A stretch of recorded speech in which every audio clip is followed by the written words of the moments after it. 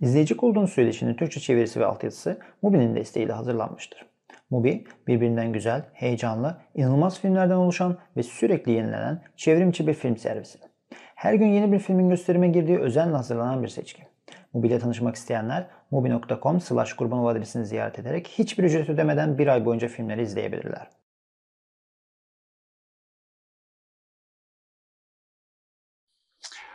Андрей Арсеньевич, я э, думаю, что это не должно остаться секретом, что я сюда вас привез на студию от подъезда детского мира. Скажите, пожалуйста, для кого вы там что-то искали?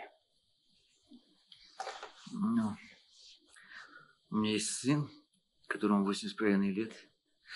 И я, если я уезжаю куда-то, то я обязательно приезжаю э, домой, что-то привозя ему, это естественно.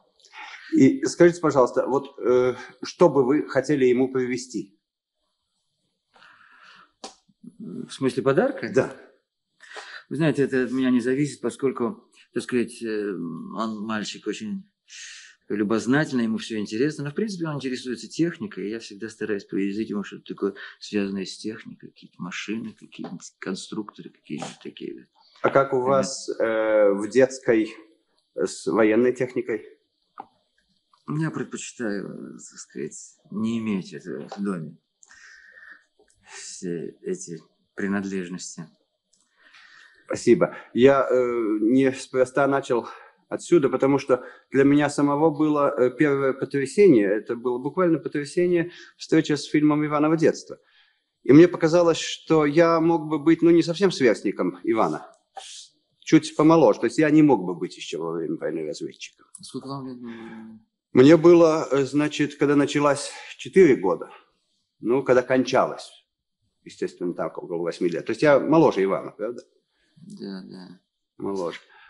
И вот мне э, показалось любопытным то, что во всех четырех ваших больших картинах, в общем, и в э, дипломной же работе, есть ребенок.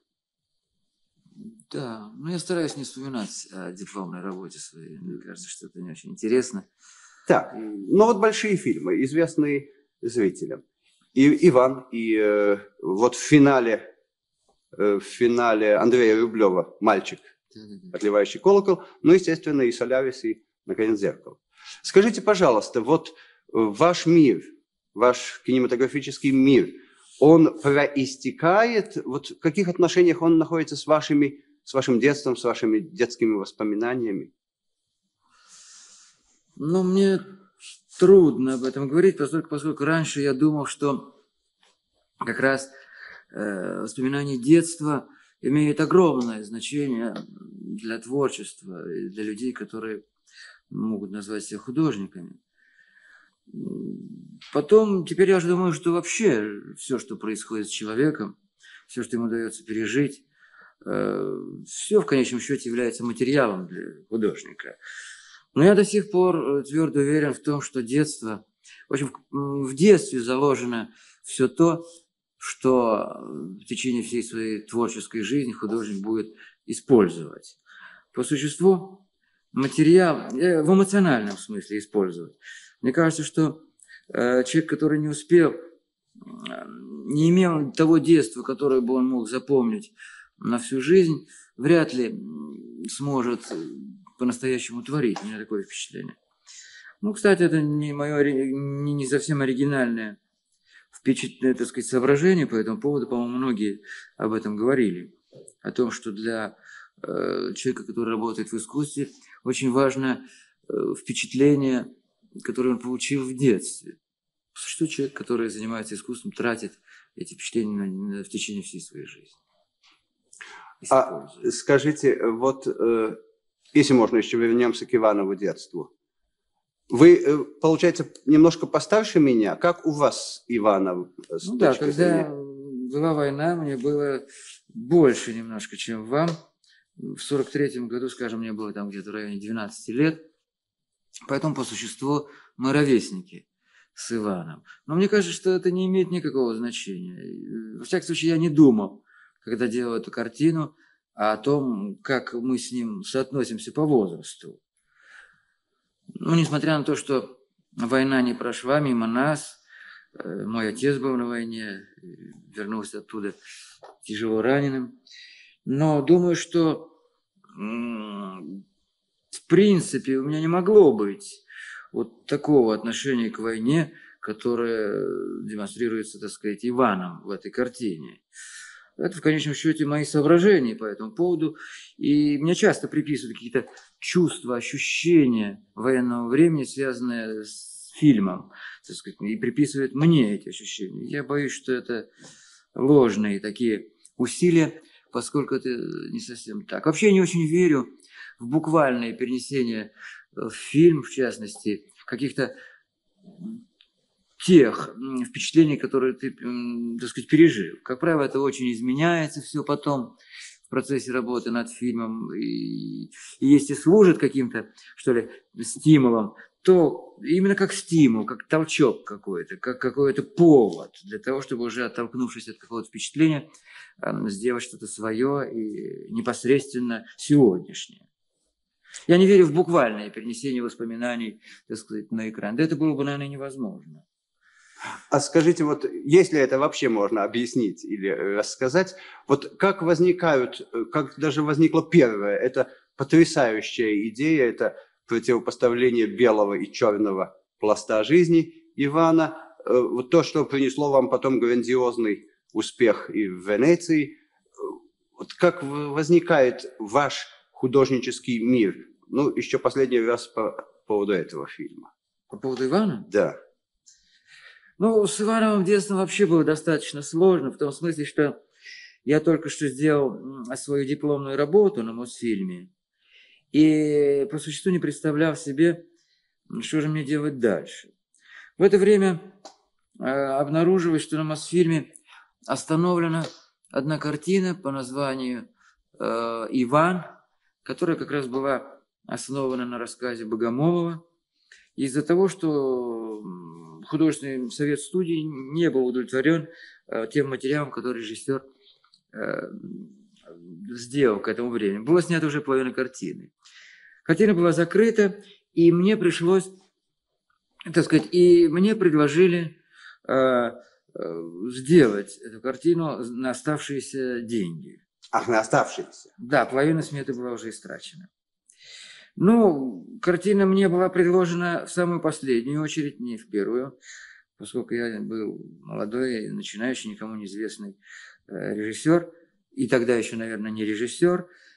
И я взялся за эту картину, правда, переписав сначала сценарий, затем э, заменив э, всех актеров, всю съемочную группу, прочее, прочее. И когда мы делали эту картину, так сказать, я бы не решился ее делать, если бы у меня не было по существу двух вещей уже, так сказать, готовых. Первое, не было бы Коли Бурляева, который мне был к тому времени уже известен. И не было такого решения чисто режиссерского, значит, противопоставить э, реальной жизни э, и, значит, и будням жизни э, Ивана на фронте и того, что потом стало называться «С нами» Ивана, то есть то, что ему снится во время, так сказать, этого, этой войны. Если бы мы не придумали этого, вряд ли мы решились бы снимать картину. Э, и если бы не было Коли Буляева, тоже, наверное, не стали бы ее снимать. Потому что успех картины, конечно, был связан с человеком, который бы играл этого ребенка, с мальчиком. Но поскольку, поскольку как-то удачно сложилось так, что решение это, и на эти решения явились достаточно быстро, мы начали снимать картину и, в общем, так сказать, кончили ее. Спасибо. Более-менее благополучно. А теперь э, вопрос по, не по существу, может быть. И этот фильм получил, и причем мы уже даже рассказывали своим зрителям, как неожиданно получил главный приз э, Венецианского фестиваля. Как себя чувствует э, режиссер, в общем, юноша, дебютант. Ну, вы знаете, трудно было мне назвать юношей. В то время мне было уже 29 э, лет, по-моему, 62 год. Нет, 30 лет мне было, когда я получил, так сказать, я был далеко не юношей уже. Но поскольку я был действительно дебютантом, была моя первая картина, Это произошло очень неожиданно, но я прежде всего совершенно не надеялся ни на какую премию. Мне было ясно, что я никакой премии не получу. Я помню, в конкурсе участвовали фильмы Пазолини, а, что-то еще очень интересное. Сейчас уже по, ну, Пазолини большое имя уже, но много было достаточно интересных картин, и я не предполагал ничего подобного. Да потом меня как-то это не очень интересовало в то время. Во всяком случае, в день, когда должны были объявить э, о наградах, о премиях по фильмам, ко мне подошел какой-то неизвестный мне человек и сказал, Андрей, я вас поздравляю, вы получили гран-при. Я не поверил. Ну, а потом действительно оказалось это так, и для меня это было страшно неожиданно, и я, ну, так сказать, в общем, как-то... В общем, я как-то серьезно к этому никогда не относился, к этой премии за эту картину, во всяком случае. Это было слишком неожиданно.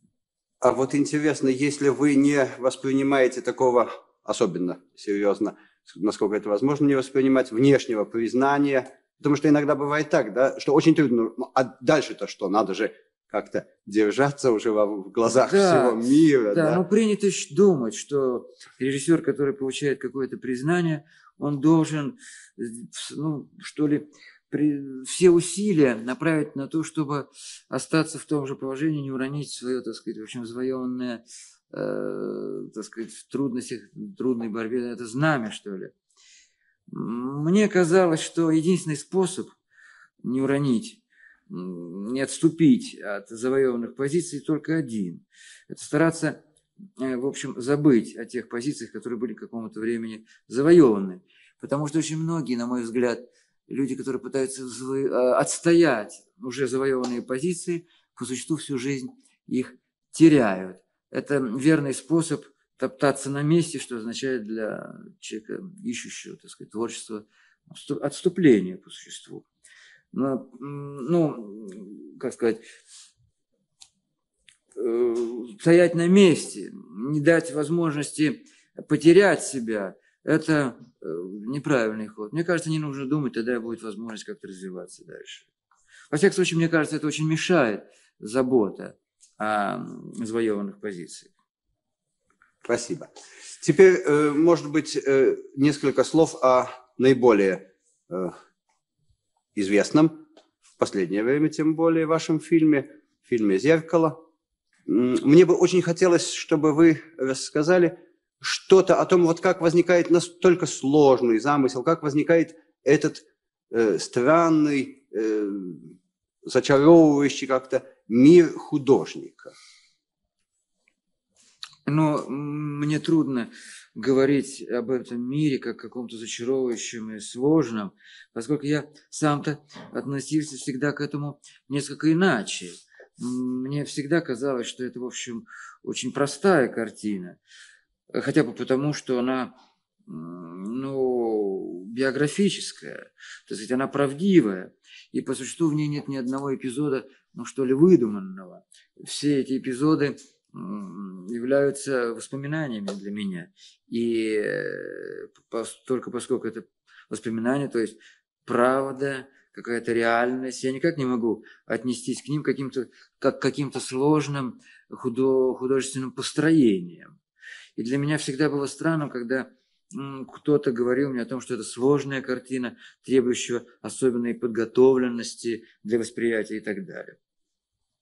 Но дальнейшая судьба прокатной картины мне, в общем-то, сказать, дала материал для того, чтобы, в общем, как-то э, утвердиться в этом своем мнении, поскольку оказалось, что для людей, что ли, неподготовленных, Э, не имеющих специального, так сказать, эстетического образования, эта картина гораздо более доступна, чем для тех, кто, ну что ли, имеет гуманитарное образование и считает себя вправе иметь какие-то свои мнения эстетические, э, иметь свои, так сказать, вкусы э, в области искусства.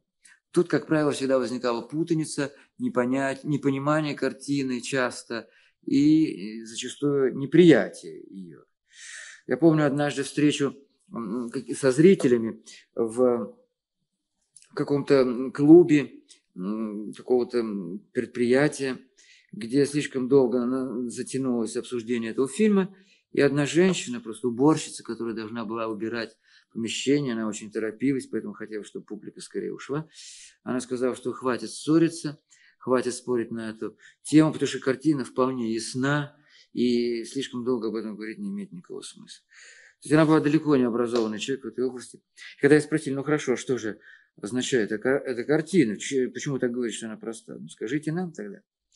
Она сказала так, ну что же, это очень просто. Ну, человек прожил жизнь, и в тот момент, когда ему показалось, что он должен умереть, так сказать, он вспомнил, сколько гадостей он сделал своим близким, людям, которые его любили, и ужасно взволновался этим, и э, захотел как-то просить прощения. Но, так сказать, было уже поздно.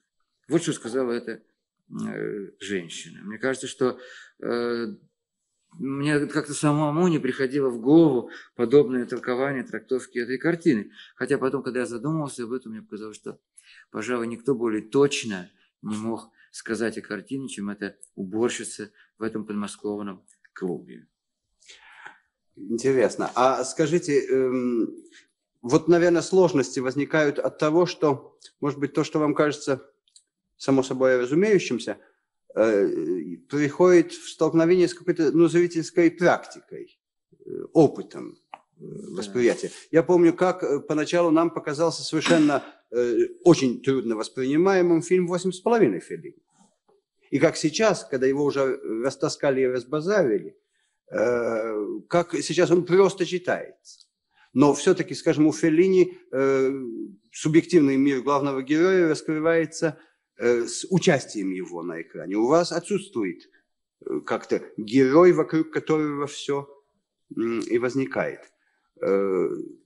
Вот этот шаг вами делался э, ну, из расчета все-таки того, что это может породить определенные сложности. Э, ну, я не знаю, как это в параллели с Филини, потому что, в принципе, у Филини совершенно другая проблема. Э, в картине Филини есть проблема чисто проблема творчества, проблема личности художника. В нашей картине такой проблемы не существует. Это просто проблема человека, который, э, ну что ли, ставит перед собой какую-то моральную проблему о связях с людьми, которые, так сказать, он любит, и которые его любят, или он любил, или его любили. Во всяком случае, отношения между людьми, перед которыми он многим обязан, просто, которым многим, многим обязан. А это, поэтому мне кажется, что эта проблема выходит за рамки эстетической проблемы, просто в моральную какую-то сферу. Этим, так сказать, мне кажется, с Филини картина не имеет ничего общего. Что же касается языка и простоты во имя воспри... если говорить о восприятии картины зрителям, то мне кажется, что просто мы хотели э, говорить тем языком, которым нам казался наиболее органичным. Мы не хотели ничего э, сделать ради того, чтобы быть более доступными, потому что я не знаю, что нужно делать для того, чтобы быть более понятным. Мне кажется, что единственное, что один человек, даже если он художник, э, должен делать, чтобы быть понятным, это быть искренним, это единственное. А уж думать о том, насколько он будет понятным, это уже, так сказать, не входит в его компетенцию. И здесь он всегда, как правило, ошибется, если попытается, ну что ли, вычислить так сказать, будущий успех у зрителя. Из этого никогда ничего не получается, на мой взгляд. Единственный критерий – это правда э, и искренность. И тогда можно только говорить о том, насколько зритель понял тебя или не понял. Поскольку иначе речь пойдет просто о способах, э, удачных или неудачных, э, которыми располагал и которые использовал художник для того, чтобы быть более или менее понятым. Мне кажется, что это не входит в функцию творчества. Это никакого отношения к искусству, в частности кино, по-моему, не должно иметь. Спасибо. И, наконец, э, еще один вопрос э, по поводу вот, кинематографа Тарковского. Э, как для вас существует влияние то, что, скажем, считывается из последних картин, особенно явственно, скажем, музыка и, скажем, Бах. Э, живопись и, скажем, Брегель. Вот э, как вы относитесь к Ну, для меня, так сказать, использование, что ли, музыки в картине никогда не носило такого утилитарного характера. То есть я никогда не относился к музыке как, ну, что ли, к какому-то приему или использование живописи как какому-то приему, ну, скажем, драматургическому. Для меня использование э, в фильме ну, каких-то смежных видов искусств всегда являлось ну что ли, желание использовать их просто как материал э, фильма, ну, каким является для нас вообще жизнь окружающая. Вообще э, материал, э, свойственный, э, так сказать, э, для использования художником в картине. Ну, в частности, то, что ближе э, ему. Но мне кажется, поскольку вот в, в зеркале использовано то есть какие-то мотивы действительно и Брегеля, чисто живописные, и э, там и Бах там использован э, в финале картины. Но здесь речь идет вовсе не от того, что мы хотели подчеркнуть какой-то рациональный э, смысл этого музыкального или живописного эпизода. Просто нам казалось, что этот материал каким-то образом входит в биографическую ткань памяти авторской. И мы просто использовали ее постолько, поскольку это для меня имело какое-то ну, духовное, так сказать, моральное значение. Так сказать, поскольку это для меня имеет какой-то смысл, резон, и только поэтому, значит, музыка Баха, скажем, и, и живопись Брейгеля каким-то образом являются деталями этого фильма. А вовсе не для того, чтобы подчеркнуть его драматургическую, там, эмоциональную сущность. Для нас, так сказать, это является как бы каким-то, ну что ли, культурным пластом, который для автора является, ну, его жизненным опытом. И только. Спасибо. И последний э, вопрос, естественно, и неизбежный. О том, э, чем вы будете заниматься впредь. Ну, мне трудно об этом сейчас говорить. Но э, у меня планы могут меняться. Так сказать, трудно соблюсти какой-то жесткий регламент и спланировать свои планы достаточно точно. Во всяком случае, я рассчитываю на то, что в скором времени буду работать над фильмом, который носит сейчас такое словное название – путешествие по Италии. Это фильм, который должен был сделать, будет, который я должен буду сделать по заказу итальянского телевидения в Италии. Э, ну, это такая работа, ну, я бы сказал, не то, что промежуточная, я отношусь к ней очень серьезно, потому что для меня очень важно рассказать глазами русского человека и советского художника о своих впечатлениях, которые я подчерпнул во время этого путешествия. И так сказать, для меня очень важно именно этот аспект. Вот э, советский художник, так сказать, русский по национальности, и э, что он может рассказать о своем путешествии. Потому что я думаю, что никого не заинтересует, так сказать, мнение, ну что ли, человека, который мало знает Италию. Как раз меня не этот аспект путешествия интересует. Но это, так сказать, работа, которая должна быть сделана достаточно скоро – а дальше для меня, меня ждет довольно трудная и очень важная для меня работа. Это экранизация Достоевского. Это будет фильм, сделанный по роману Федора Михайловича «Идиот».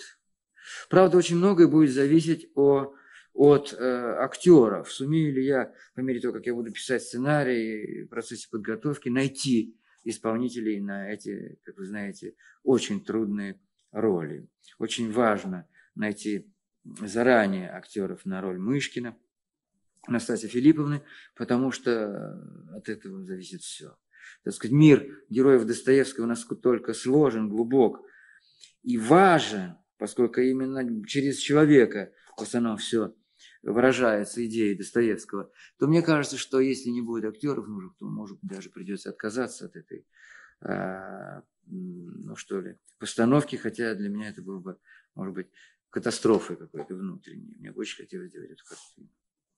Мне но, бы... но это то, что, так сказать, на что я сейчас рассчитываю. Может быть, планы изменятся, и каким-то образом э, э, окажется, что я делаю совсем не то, о чем вам сегодня говорил. Мне бы тоже очень хотелось, чтобы вы сделали идиота, и я желаю, чтобы вам повезло с, С и с, с актером на роль Мышкина, так же, как с Колей Бурляевым на роль Ивана. Спасибо вам большое, что вы зашли к нам, и успехов. Пожалуйста. вам. Спасибо вам за приглашение.